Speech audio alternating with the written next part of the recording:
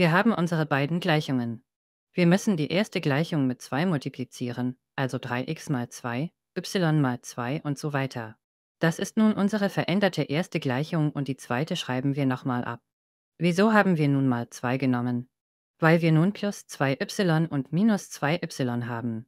Wir addieren nämlich die beiden Gleichungen, also 6x plus 2x gleich 8x plus 2y minus 2y und so weiter und dadurch fällt eine Variable weg und wir können dann nach x auflösen. Danach setzen wir das ausgerechnete x in die erste Gleichung ein und lösen nach y auf.